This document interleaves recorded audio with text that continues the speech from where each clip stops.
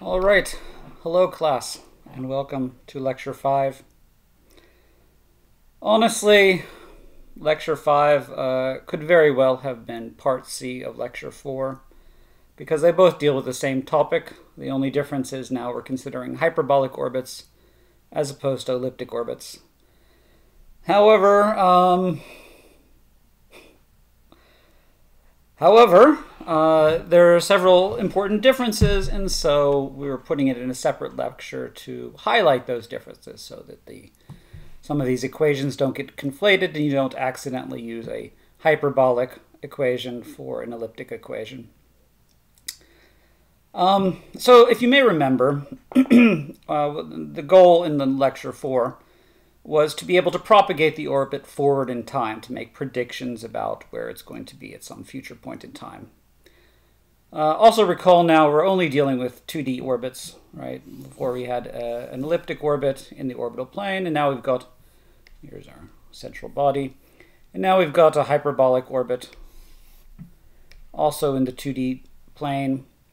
In the following lecture, lecture 6, we'll start moving to three dimensions, but uh, that's not yet. So we're all in two dimensions.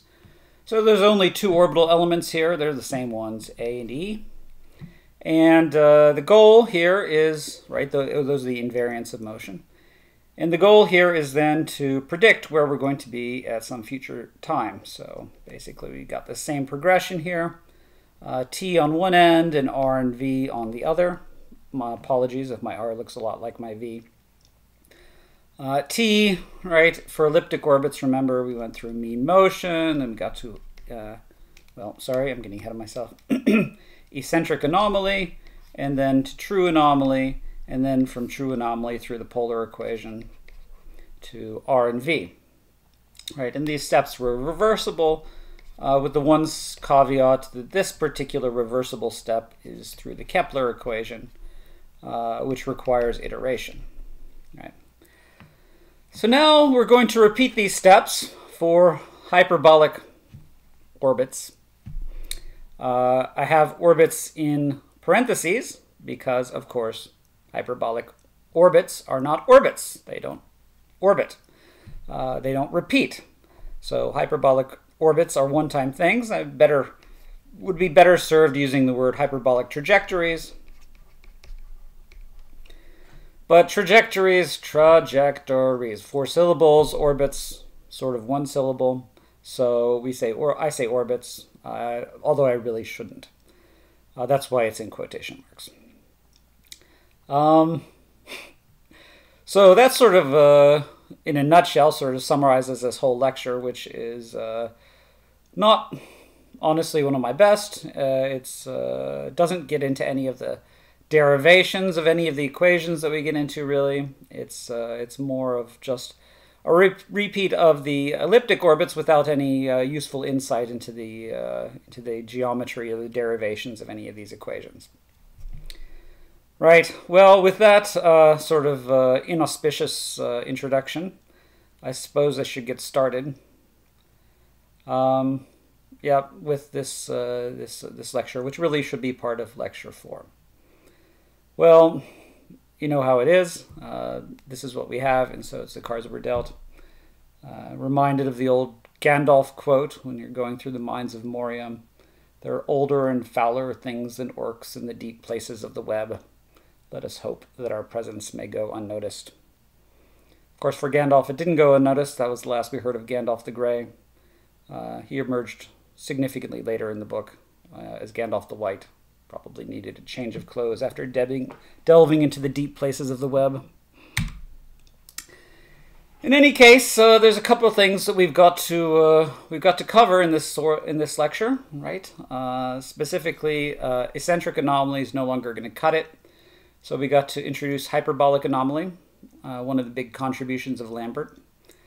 We're going to do Kepler's equation again. Uh, again, it's not I say again, but it's actually different Kepler's equation, uh, neither of which, of course, were really proposed by Kepler, but what the heck. Uh, and then, of course, we'll use that to R, find R and V, and we'll do a sort of interesting uh, Jupiter flyby example there at the end. So if there's a highlight to this lecture, it's probably me repeating a uh, table from Vallado's book. Uh, Vallado, by the way, big fan of Vallado. If you're a practicing engineer, Vallado's book is like uh, the Bible, really. It has everything you probably ever want to know, including, well, it's, it's not really focused on interplanetary. In fact, there's almost no interplanetary stuff in there at all. Uh, but uh, it, it's mostly Earth-centric, so that does one drawback. But uh, is very methodical, so I, I just love uh, textbook. Uh, he actually introduces all the algorithms for solving all of the, the problems, and uh, has uh, you can download the algorithms uh, just in MATLAB. And it's very convenient. In any case, I have this plot here because just to highlight the things which are the same for elliptic orbits and hyperbolic trajectories, orbits, and things which are not. I'm going to get keep getting stuck on the word hyperbolic orbit slash trajectories um, until I sort of figure out which I prefer. Uh, I know which I prefer. I prefer orbits, but it's it's wrong. So I, that's why I'm stuck. Uh, in any case, having gone through that, let's uh, let's go through these uh, these these things which are the same and the things which are different. Right. So uh, a couple uh, important things which are the same: the peri periaps, uh, the distance of periaps, uh, he uses Q, right? We use RP. Uh, that's the same for hyperbolic and elliptic orbits, so positive there. Uh, the vis-viva equation, uh, so here velocity equation, is the same for elliptic and hyperbolic orbits. the relationship between energy and semi-major axis, the same for hyperbolic and elliptic orbits. Um, things which are not the same mean motion is not the same uh, for hyperbolic and elliptic orbits because we don't have that repetition. There's no fraction of the period. They look very similar, but they're actually not because, of course, there's a negative sign here. Right? Uh, we'll come back to that later. Of course, uh, these things don't repeat, um, so there's no period of a hyperbolic orbit, p equals infinity. Uh, the conversion between eccentric anomaly and uh, true anomaly, of course, not the same because there's no such thing as eccentric anomaly for hyperbolic orbits, so I guess we'll just go ahead and highlight that as a difference. Uh, the uh, mean anomaly, the Kepler's equation, of course, uh, there's no such thing as eccentric anomaly again, so that has to be different as well.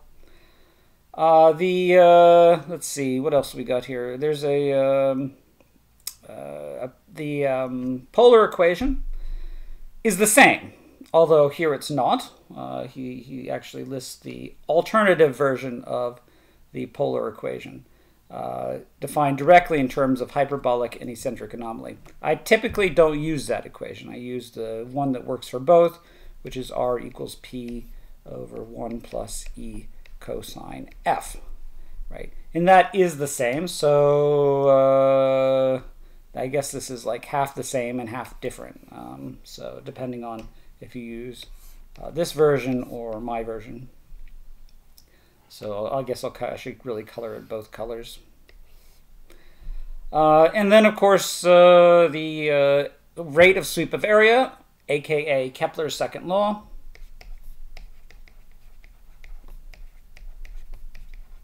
Of course, that's the same uh, for hyperbolic and elliptic orbits.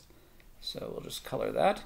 Uh, you could also express this, of course, uh, as equal to h over 2, right? H over 2, uh, where that's the angular momentum. Uh, let's see, what else? Uh, differences, of course, the, well, the conic section equation, okay, let's say that's different, right? Conic section equation uh, for hyperbola and a uh, ellipse uh, is, is, has that negative sign in there. Um, the I don't know the equation for eccentricity. I guess that's I don't I don't typically use that equation, so I'm not going to highlight it.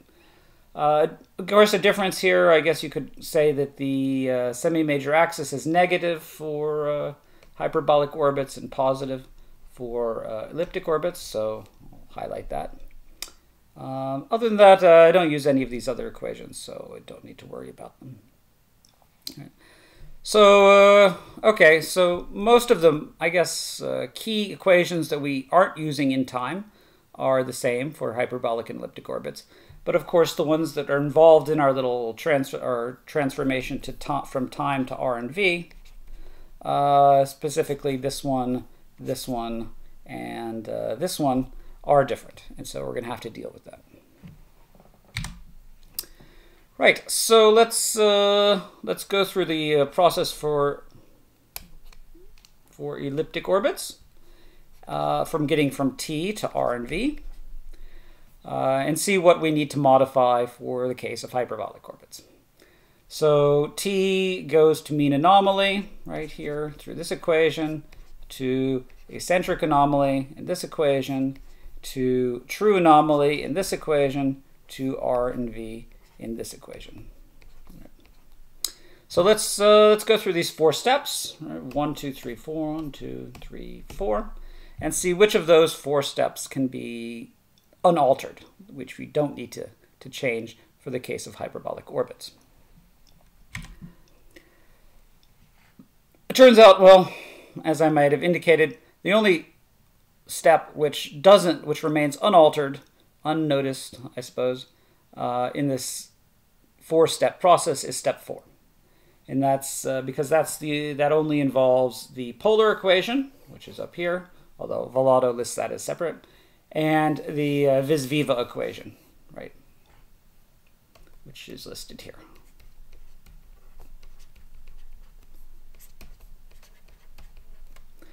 Right. Uh, true anomaly is still right? The parameter we use to describe the motion of the orbit or the parameterize the orbit because uh, the polar equation were, is, is equally valid for hyperbolic orbits, so we don't need to, to modify our definition of true anomaly. The eccentricity vector still points towards the periaps, so we don't have to modify that, modify our definition of true anomaly or anything else. Right? So eccentricity vector unchanged. Uh, yeah, eccentricity vector, unchanged. Still measures, um, in this case, uh, how we're, in this plot, measures rotation counterclockwise. Uh, so, conclusion, step four, unchanged. No modifications required for step four. Sadly, however, that is the only step that doesn't require a modification. The other three steps, uh, going from uh, T to mean anomaly, going from mean anomaly to eccentric anomaly, and going from eccentric anomaly to true anomaly, uh, all require modification because, of course, eccentric anomaly is defined using this weird auxiliary circle uh, here uh, on this inscribed uh, circle, I guess superscribed uh, reference circle, right? And obviously, we can't write, describe a reference circle around the hyperbolic orbit because it goes off to infinity and it would have infinite radius. So that's not going to work. Uh, likewise, mean anomaly also has problems because it's defined as the fraction, it's uh, how it's defined is the fraction of the um, orbit in radians that we're, we've passed through. Uh, so fraction of the period that we've passed through in radians. And of course, period has no meaning for hyperbolic orbits. Again, right, coming back to the problem that it's not an orbit, so it has no period. No period. Uh, so in that, for that reason, we have this issue: mean anomaly, eccentric anomaly, eccentric anomaly. All three of the, all two of those uh, parameters appear in these three steps, and hence we have to redefine these three steps. Now, this is a pain and results in uh, extra lectures, which, while not too long, uh, are, uh, are a bit burdensome. And so some people, uh, so in particular Prussing and Conway, use the universal variables approach to deal with a single set of equations which define both the elliptic and hyperbolic case. I don't, because I like talking about uh, eccentric anomaly and hyperbolic anomaly because they're interesting and they're historical and they have like a nice geometric meaning which uh, is easily in, is, is, is, is kind of easy to interpret. Hyperbolic uh, anomaly, however, requires hyperbolic trigonometry, which um, well, I'm not an expert in. And I won't pretend to be, so uh, as, I said, the derivations in this uh, lecture are uh, practically non-existent. On plus side, it means we can get through the lecture quicker. Right. As I said, uh, the uh, the period for a hyperbolic orbit is not defined. Therefore, there's no reference circle. Therefore, there's no eccentric anomaly. Uh, and furthermore, we're not using the universal variable approach of Prussing and Conway uh, for the reasons I just described. So we're going to have to revisit these steps in their entirety. Um, occasionally, uh, you know, there's good arguments for using the universal variable approach. One of the which is it involves uh, case logic. Uh, I mean, the hyperbolic versus elliptic orbits require case logic. And if you're searching over these orbits, and trust me, I've done lots of searching over orbits, uh, it gets to be a bit of a pain. Um, in terms of uh, calculating periods and so forth and so forth. You see my space elevator paper. We have to deal with that quite a bit, especially with Lambert's problem, switching those uh, those cases. Uh, however, uh, this is not a uh, paper, or this is not a lecture on Lambert's problem, and so I don't think we need to. Uh, we don't. We don't need to. We're not required to use the universal variables approach. also, I don't like it. So what are we going to do then? How are we going to redefine these steps? Uh, so remember, we got T to M, M to E, and E to F, right? So let's start, uh, and then of course we have step four, getting to R and V. And let's, uh, let's focus on step three first. Step three, uh, which is somehow relating uh, the true anomaly to something which is slightly easier to measure, which is the, uh, in this case, it was the eccentric anomaly, and in this case will be the hyperbolic anomaly. Right? So again, right, remember that that clock uh, that we used in the elliptic case is still works, still works, right? So the rate of sweep of area, remember that first slide, uh, is still a constant h over 2, right? So we can still use area, swept area, as a clock. Uh, so A equals H over 2 uh, delta T. So it makes sense that we would want something, uh, some kind of represent easier to measure representation uh, in terms of area. So hence we get the hyperbolic anomaly. Right. So of course what we're looking for, and now actually I'm like uh, looking need a smaller pen here. Uh, we can measure, right, this rate of uh, the, the swept area as a function of time. So there's the swept area. This is a periaps right here. This, uh, again, is an image from uh, Vallado's book. So uh, again, I like this image and I like Vallado's book. Um, so uh, we can measure this as a function of time. And so the, the, the goal, right, is then to relate this swept area to uh, V, uh, which actually in our case is F, which is uh, which was what we were or we would like to find. So specifically, we would like to find in this case um, F as a function of area. That's not going to be possible. Uh, however, we can, we'll be able to find F, uh, well actually we'll be able to find uh, actually H as a function of F, and then uh, that will give us uh, the hyperbolic version of Kepler's equation. so as with the case of elliptic orbits, uh, this is a mm, problem of finding lots of areas and uh, trying to determine them as a function of angles. So unfortunately, unlike in the elliptic case, uh, there's no reference ellipse. Uh, and so there's also no reference hyperbola, which we can get the same kind of uh, logic for, right, as we got for the eccentric anomaly. Um, instead, we, and this is partially because hyperbolae um,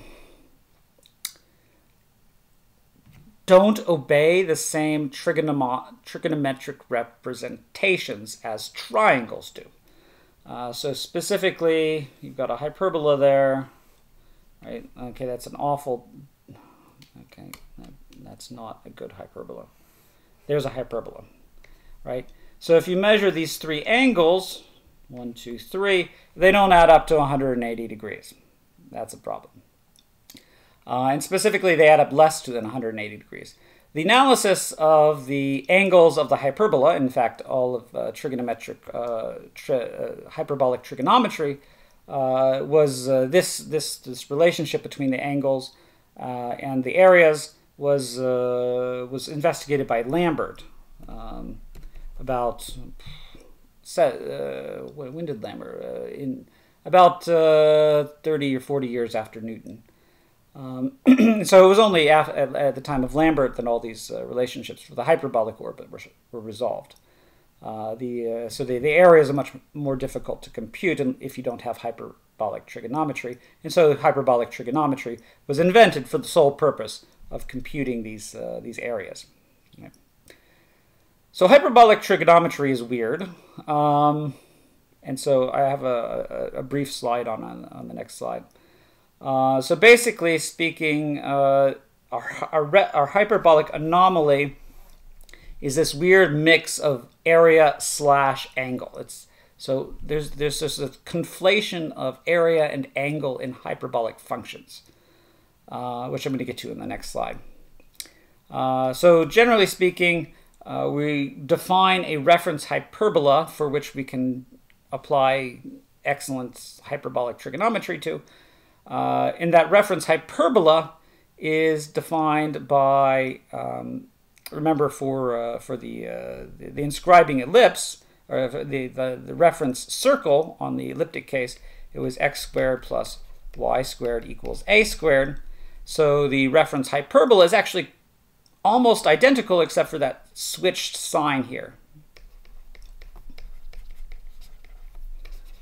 Right where we've, uh, in Cartesian coordinates, we've uh, swapped the sign plus to minus here, right? So that's a difference. Highlight that. Um, and uh, unfortunately, however, it gives a significantly different shape, right? so it gives this, uh, this uh, reference hyperbola here. And in particular, the reference hyperbola that we're defining is the one where this point occurs at periaps. So here's our trajectory. It's going off this direction. And the inner point of this reference hyperbola occurs at that periaps. Right? And uh, the, uh, the center of that hyperbola, so hyperbolas have a center, uh, occurs over here. Now, where is that? That's someplace. Uh, actually, you can measure where it is uh, from this relationship AE. Uh, so AE is the distance from the, from the focus to the center of this reference hyperbola. So it's, uh, it's amplified by this length a. Um, compare, of course, to the ellipse, where we have the center uh, to the center of the ellipse to the focus, uh, which is AE in the elliptical case. Uh, and then we have the inscribing circle there as well. So, unfortunately, of course, right, the, the center, uh, in, the, in the elliptical case, the center of the ellipse in the center of the inscribing circle at the same point. The center of the reference hyperbola, however, and the center of the actual hyperbola are not at the same point. This is the center of the actual hyperbola. So, right, life is more complicated. So, uh, basic uh, rehash of your uh, your hyperbolic trigonometry which you may have learned in, uh, in high school or perhaps not. I don't know if it's still taught very, very commonly uh, because honestly, uh, you don't see it very much. But this is one place you saw it. So if you learned it, this is the place to use it. Uh, so if you didn't learn it, however, I'll just have a brief rehash. Uh, so the hyperbolic, uh, so if you remember trigonometry, right, gives a relationship between this angle theta, and this is uh, the uh, hypotenuse, let's call it um, h for hypotenuse, and then the opposite sign is h sine theta and h cos, uh, co cosine theta.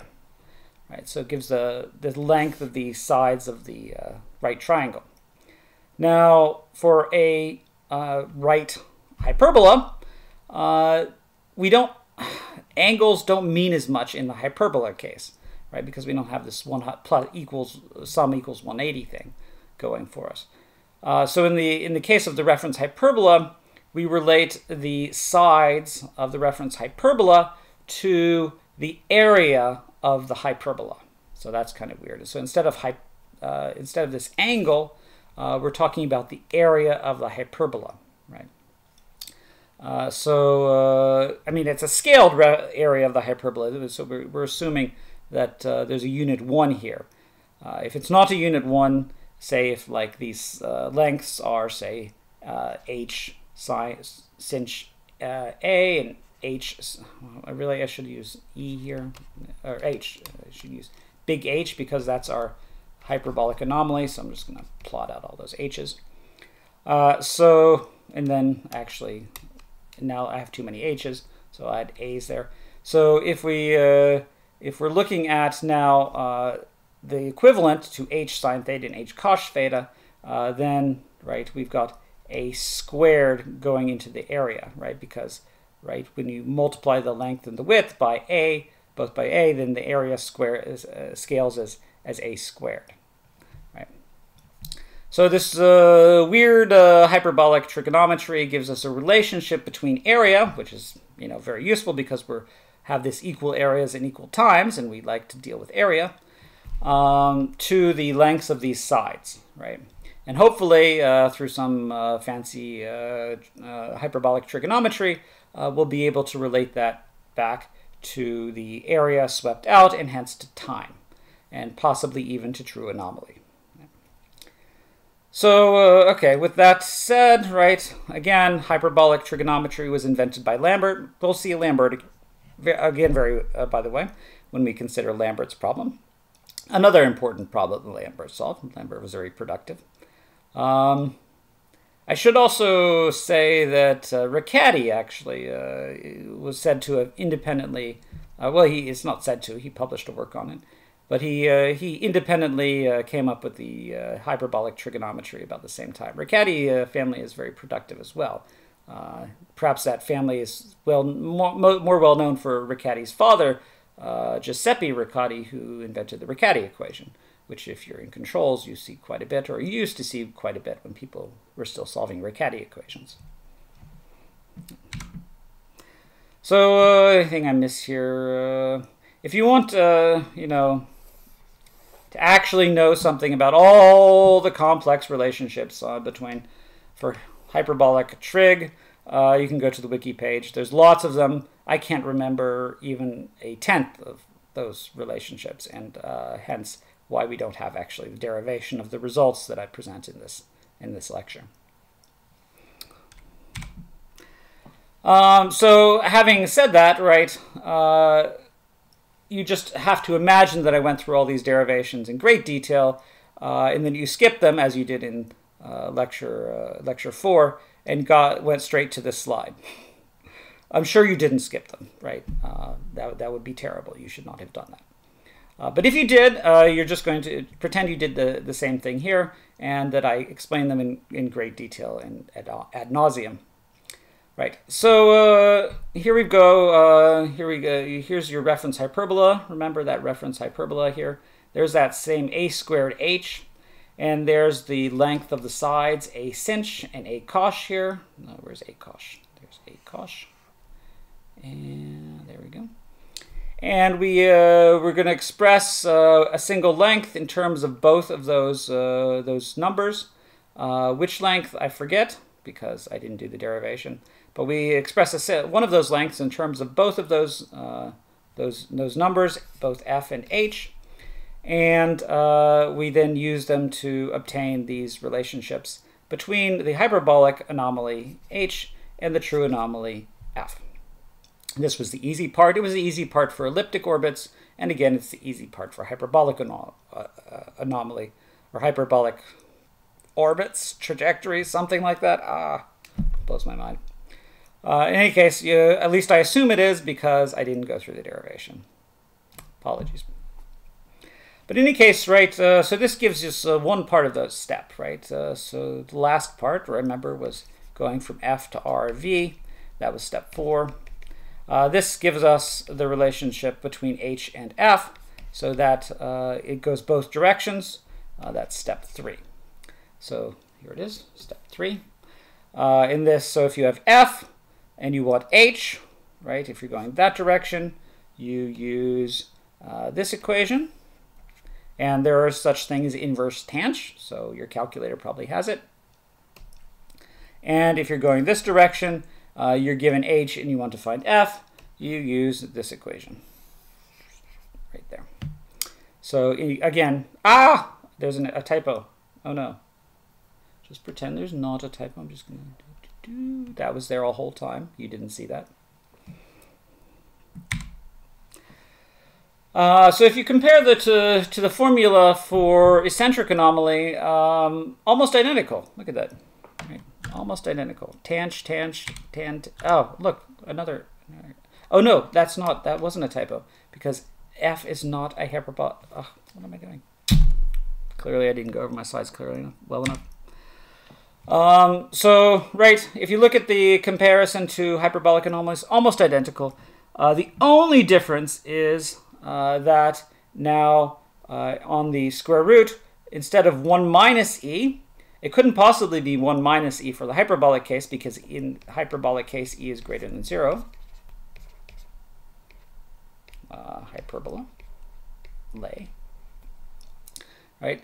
So uh, we just uh, assume that the uh, it can't be zero, can't be one minus e, and so we take the obvious counterpart. It's uh, let's see, uh, e minus 1 on the denominator. So that's the only difference. We've swapped these, uh, these two terms or put a negative sign in front of it, and that's the only thing we've done.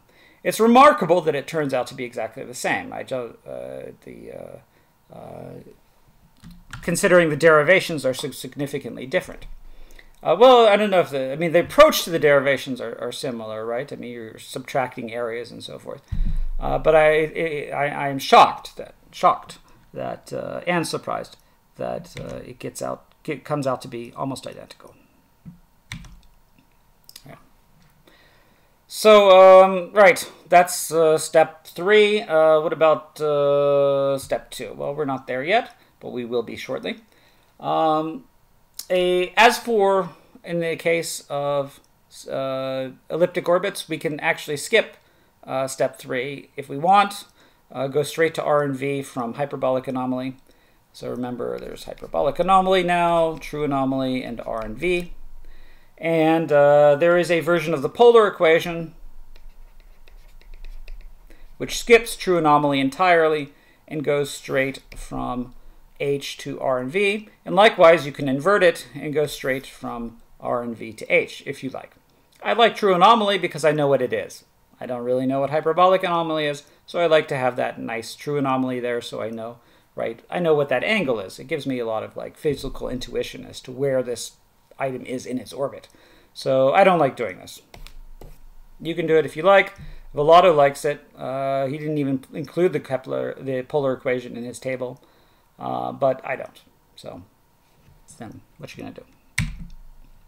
Right. So the other two uh, steps, one and two, um, again, remarkably similar. They end up being remarkably similar to the elliptic case, uh, except that they have minor differences, which are actually major differences. So remember, we're going from T to M to H to uh, F. Right. So we're now on here step one and step two. So, of course, we have now uh, f in terms of h and h in terms of f. And so if we actually want to find f as a function of t, right, uh, we're going to lo be looking for f as a function of h of t. And of course, uh, from that, f as a function of h as a function of uh, mean anomaly as a function of t, right? So mean anomaly, what does that mean here? Well, it doesn't mean much. Uh, it's just a, it's just a temporal timekeeping. Remember, mean anomaly doesn't didn't mean much in the elliptic case either, right? It was just a, a bookkeeping tool so that our time would scale better, right? So there are angles uh, wouldn't uh, you, this relationship between angle uh, when we wrote down the Kepler equation, right? We wrote down Kepler equation on the, the right hand side here. This is the hyperbolic Kepler equation. And on the left, we had uh, this factor n times t. So we're, you know, factor of area.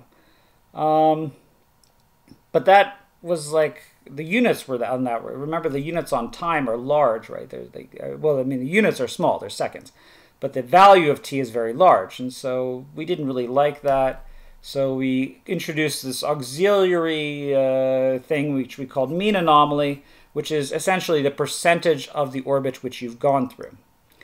Uh, notice that we never actually use area here. We, we divide area by the hyperbolic. in the elliptic case, we divided it by the uh, the area of the ellipse, and in the hyperbolic case, I assume we divide it by the area of the hyperbola. Um, but uh, in any case, we never actually use uh, Kepler's second law to get the integrated area. That's not a step in our in our progression.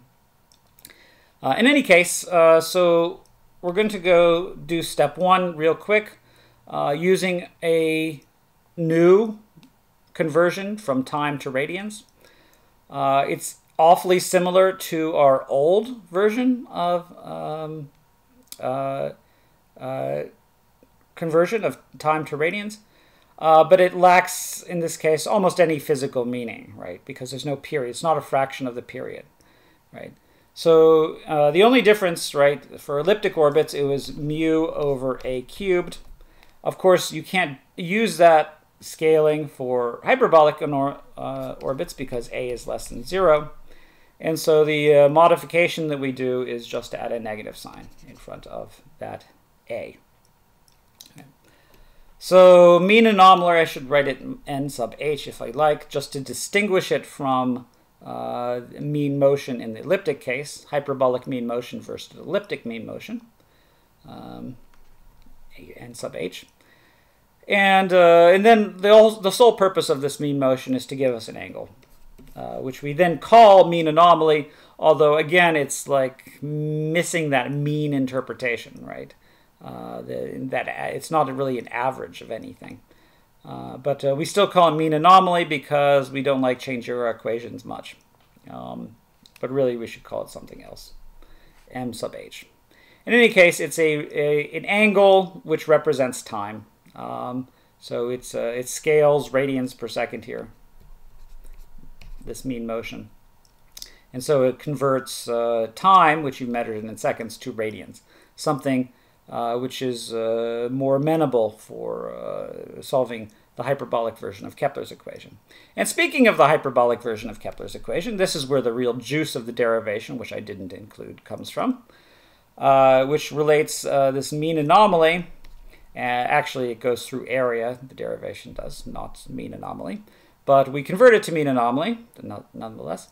So the relating that area to the hyperbolic anomaly uh, we get a version of Kepler's equation which works for hyperbole. Now again, uh, the hyperbolic anomaly here is uh, again dicey, right? Uh, uh, we don't have to worry about this degrees because hopefully you're not using hyperbolic uh, angles in terms of radians or degrees, but it's just the that hyperbolic, it's, it's sort of a fractional area, if you like. Uh, so units on that, actually I should say um, hyperbolic units. Actually, I'm not sure what the hyperbolic unit is. I should double check that. Uh, in any case, uh, it's uh, this is Kepler's equation for hyperbolic orbits. Again, not derived by Kepler, uh, but of course the original one wasn't either.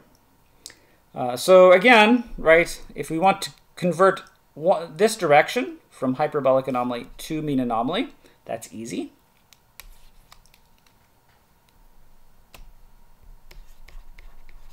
If we want to convert the other direction, however, that's a little bit harder. Uh,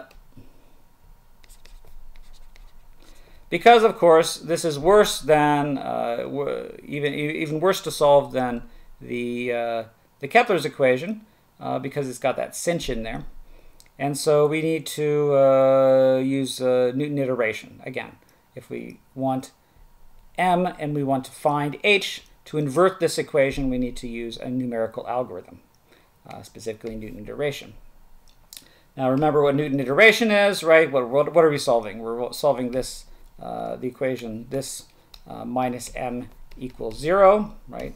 That's our f of h. And uh, Newton iteration is uh, hk plus 1 equals hk plus, uh, well, this term is f of hk, and this term is f prime of hk. Actually, incidentally enough, the derivative of hyperbolic and cinches and coches uh, is actually a little bit easier than sines and cosines because they don't flip signs when you, you when you differentiate them. Uh, so uh, so the derivative of sine is is is sine is cosine. The derivative of cosine is also sine. So there's no no sign switch in there. Anyway, obviously uh, you take the derivative of this and it's uh, uh, just cosh minus one, and this looks also suspiciously similar to the elliptic case. Right? So there's the Newton iteration for obtaining h from m.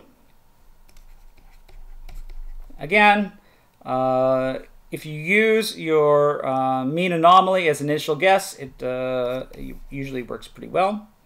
Uh, we can see that uh, from the plots here I've got here. Um, so here's the one for elliptic cases. Here's the hyperbolic cases. Again, actually, this is mean anomaly versus true anomaly. Really, I should should have should have the plot of mean anomaly versus hyperbolic anomaly, but I don't have it here. Uh, and you can see that, uh, well, what's going on here? This is, these are both versus true anomaly. Uh, in the zero eccentricity case, circular orbits, uh, it's a straight line. As you get closer and closer to an ellipse, or to, to a straight, to a, as you get more and more eccentric, uh, this flattens out, so you get to something that's very low derivative right here.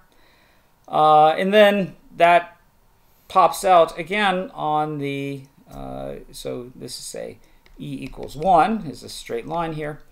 Uh, and then as you get um, more eccentric, uh, then, right, this curve straightens out until you get to something like a line here, right, coming back in there. Um, just a, you know, a quick uh, note. Uh, so if you got to a hyperbolic, a hyperbolic orbit, right? Here's your central body. Uh, I can imagine two orbits, right? One where the uh, the uh, the orbit is changed very little, and one where it's changed a great deal, right? So, which of these has the higher eccentricity, right? Obvi so this one is the one that has the higher eccentricity. E is maybe 12 or something like this. And this is like E equals approximately 1.2. So when you get to E closer and closer to 1, you get closer and closer to the parabola, which means that basically your orbit is just turning around, right? Uh, and so it uh, basically comes here and from infinity, and this does a U-turn and goes around. Whereas the limiting case when E equals infinity is just a straight line and it completely ignores your planet. Say, for example, you're trying to calculate the hyperbolic flyby of Jupiter by uh, Pluto or something, right? That Jupiter isn't affected, right? Its, its eccentricity with respect to that central body is infinity, right? And so those are the limiting cases here, right? Where we've just uh, we're flying by with uh, perpendicular equals infinity, and the do a 180 degree turn e equals uh, one? You know, again, right, uh, the reason for these shapes is uh, because this mean anomaly is really doesn't have that same physical meaning uh, that we had in the case of ellipses. Uh, so it's hard, harder to interpret that way. Uh, so, but anyway, that's the case. Did I miss anything over here? Uh, these are just the comparisons to the equations for ellipses, right? So we changed this one to be a negative sign for hyperbolae, and uh, we swap this one, put a sinh there, move the sign, swap the sign uh, for hyperbolic anomalies. Make that h. It's h.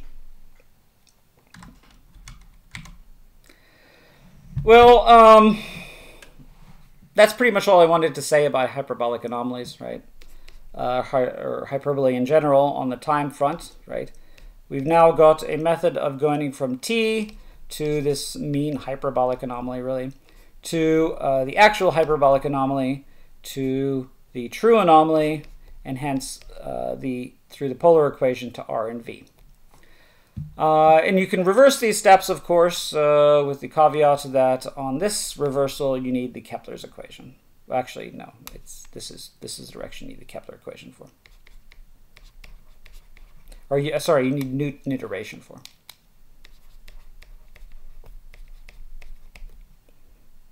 This is the easy direction. Right. So uh, we're going to do a, a, a little uh, demo here of uh, how to apply these equations. Uh, real brief, uh, just, well, not, not too brief, actually. Um, uh, I say brief because we're going to do the easy direction and not go through Newton iteration again because, right, that takes up an extra slide just by itself. So actually, we're going to be looking at the problem of going this direction, r to t.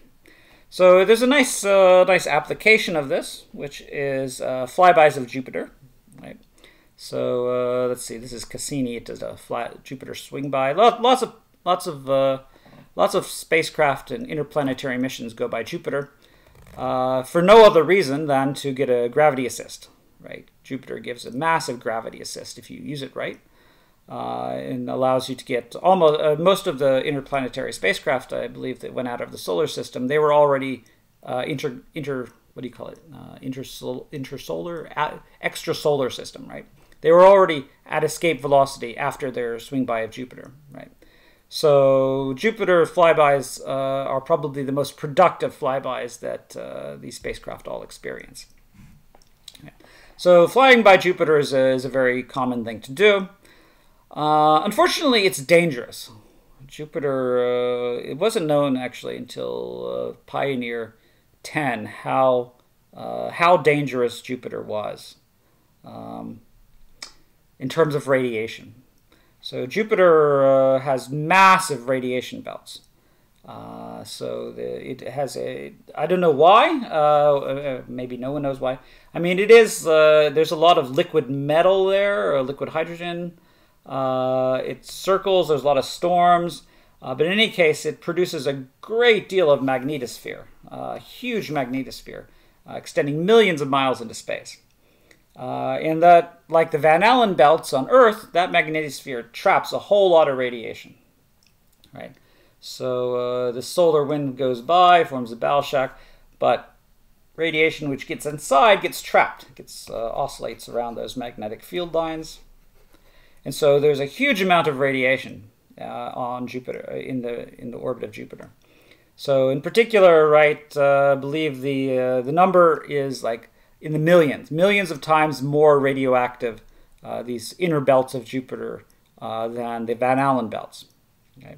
So for example, Pioneer 10, right, when it passed by Jupiter, Pioneer 10, how close did it come? So the radius of Jupiter is uh, 70, 71,000 kilometers. Right. I believe Pioneer 10 uh, passed within uh, 200,000 kilometers of Jupiter. I think it's on the next slide. Uh, yeah, it's peri- Pioneer's 10 periaps was at 200,000 kilometers radius, right? So 130,000 kilometers above Jupiter. Uh, in Pioneer 10, at 130,000 kilometers above Jupiter, uh, experienced uh, about, I think it was 250,000 rads. Pioneer 10. 250,000 rads. Right. Uh, just for reference, right, uh, how many rads is needed to kill a, a human? 500 rads, right? So 500 rads equals death. So Pioneer uh, 10 experienced 250,000 rads. Uh, fortunately, there weren't any humans on Pioneer 10. uh, but it was uh, it was far more rads than they expected, and it was it has actually it would have experienced more if it didn't actually get actually. Do I have a picture of that somewhere? No, I unfortunately I don't have a picture. if it didn't actually get tucked in under the one of those radiation belts, the radiation belts move around quite a bit. Actually, I, think I have a picture of that.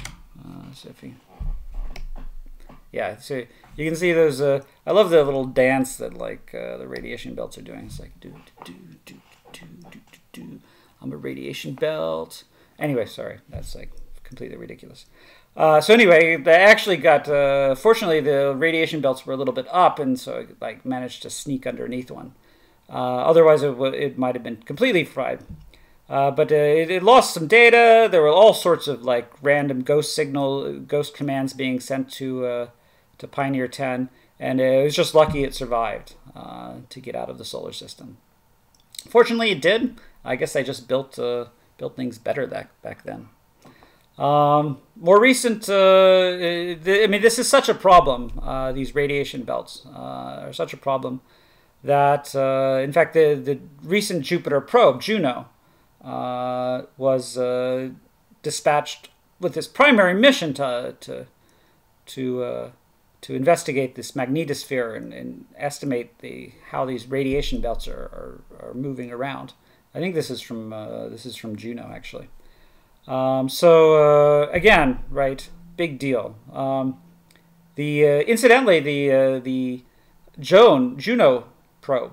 Um, well, Juno probe had some issues, but anyway, uh, it was injected into uh, Juno into Jupiter orbit, so it's a polar orbit.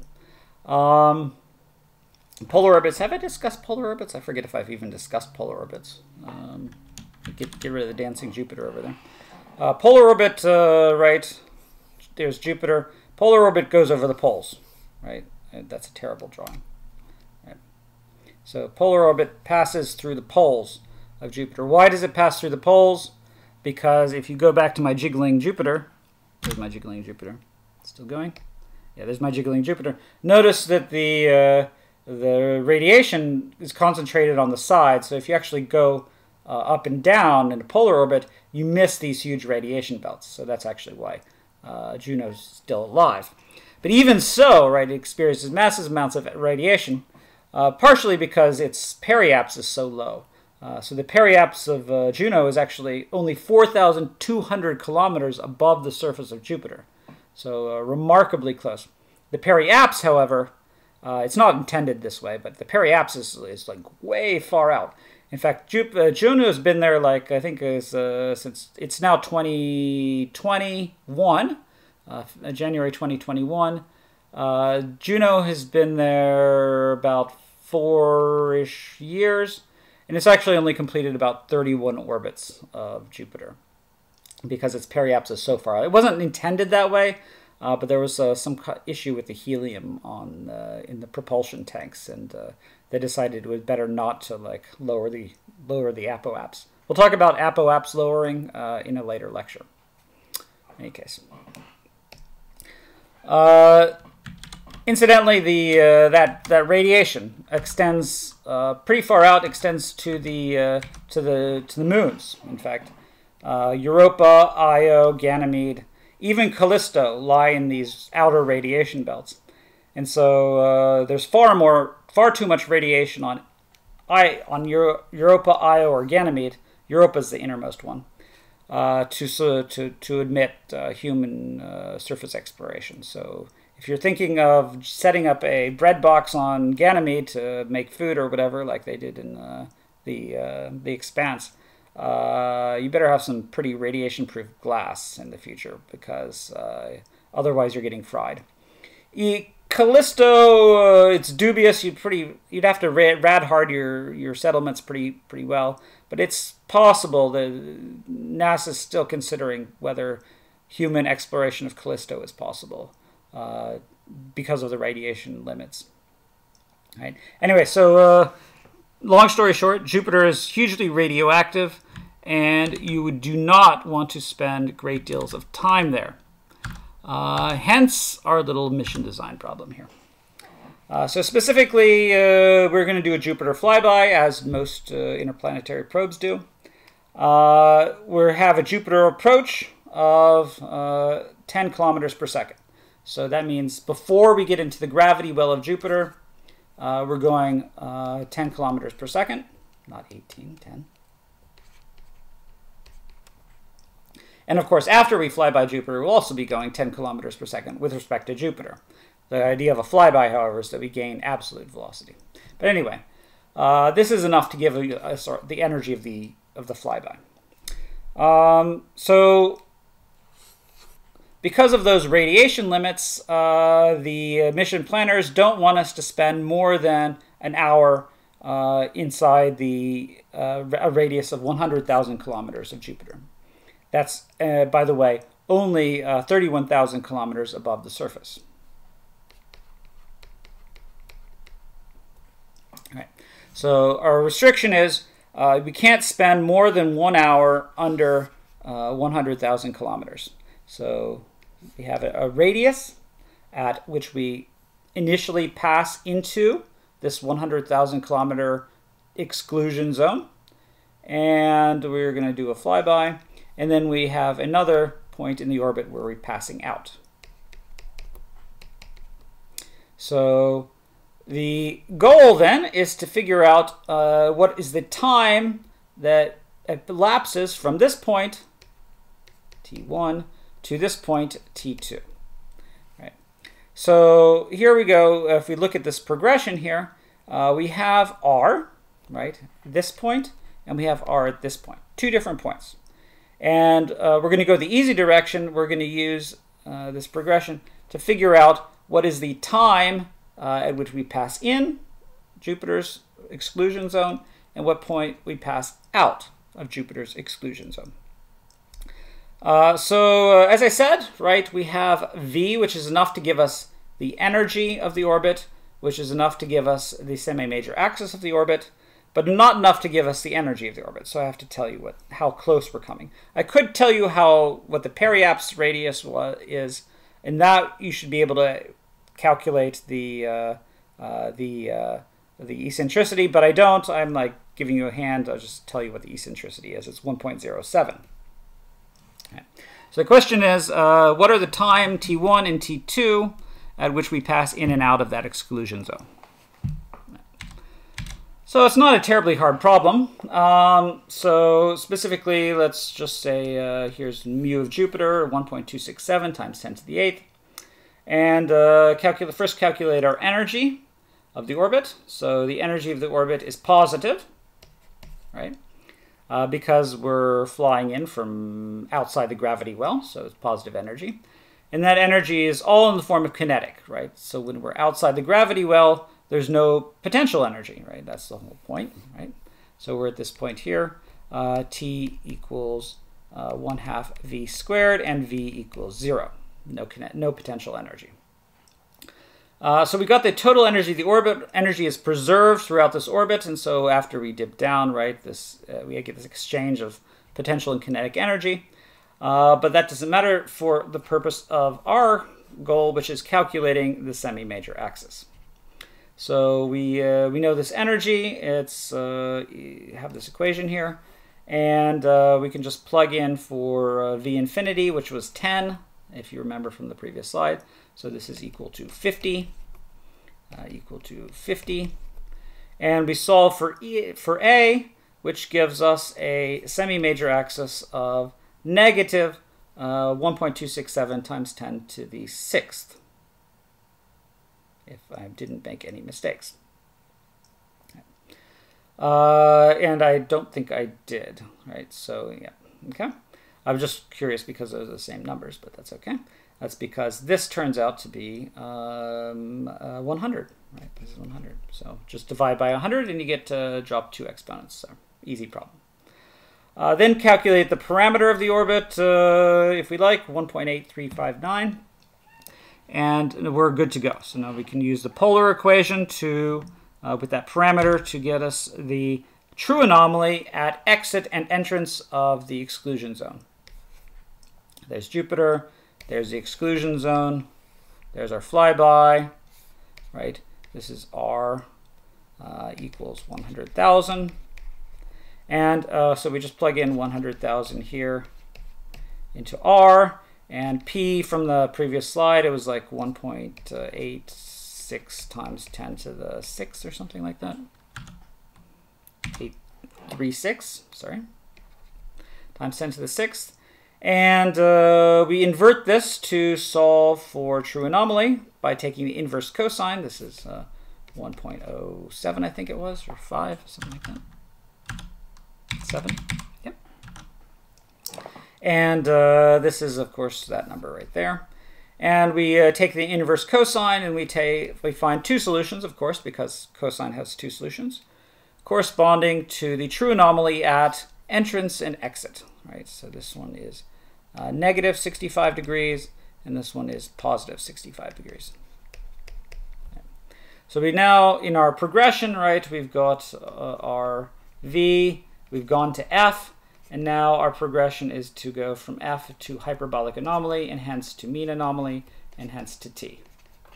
So now we should take this number here and convert it to hyperbolic anomaly. Using those formula we had on the previous slide. Uh, inverse tanh of this number here. Uh, actually, it should be uh, 2 inverse tanh, I think, there.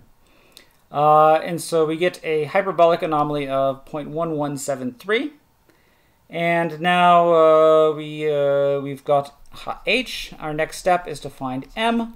For this case, we use Kepler's equation, right? And we plug in here 1.1173, right there. And we find that the mean anomaly is 0.0085. So a very small mean anomaly, but remember, mean anomaly doesn't mean a whole lot. Uh, for I mean, it's hard to interpret mean anomaly for hyperbolic orbits. Uh, so they, mm, because we were discontented with mean anomaly, let's very quickly move on to time uh, without talking about it too much. Um, in particular, we divide by the mean motion, again, not meaning very much, to get the time uh, for both uh, positive and minus, by the way. Of course, like uh, there's a plus and minus here as well. Uh, for but either one, it doesn't matter. Uh, this would be negative if we had negative mean anomaly. Uh, so the positive one is 1,000 seconds approximately, 1080 seconds. and so, of course, that's the time at which we leave. the time at which we arrive in the exclusion zone is negative 1076 seconds plus 1076 seconds. And so the total time elapsed uh, in the exclusion zone is 2,153 seconds, corresponding to 35 minutes. So that's less than one hour, and so the spacecraft survives. Yay!